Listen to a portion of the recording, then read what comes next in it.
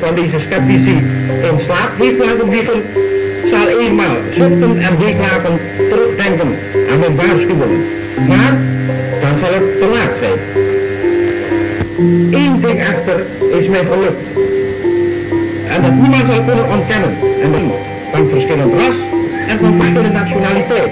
En daar zijn zij allen de levende getuigenissen van.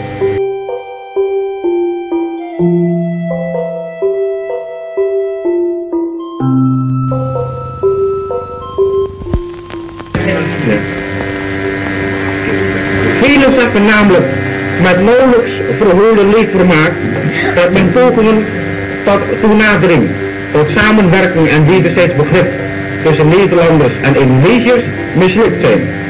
Echter, de toekomst alleen zal ons leren in hoeverre deze pessimisme van deze sceptici in slaap heeft laten vliegen, zal eenmaal zuchten en weeklagen terugdenken aan mijn waarschuwingen. Maar dan zal het te laat zijn. Ding is mij gelukt. En dat niemand zal kunnen ontkennen. En dat van verschillend ras en van verschillende nationaliteit.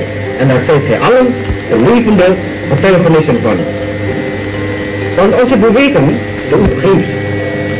Daarom ga ik heen zonder enige bitterheid in mijn gemoed.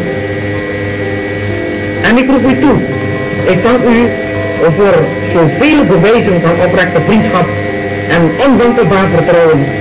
En ik roep u toe, vaarwel en laat wij hopen tot wederziens.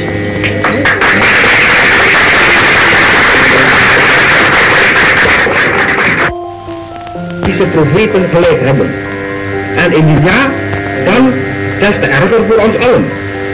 Het zelfgenoegzame en inerte deel van het Nederlandse volk dat zich door het zinloos gemam is, een band te leggen van vriendschap tussen mensen en beweging gaat verder dan alle politieke doelstellingen.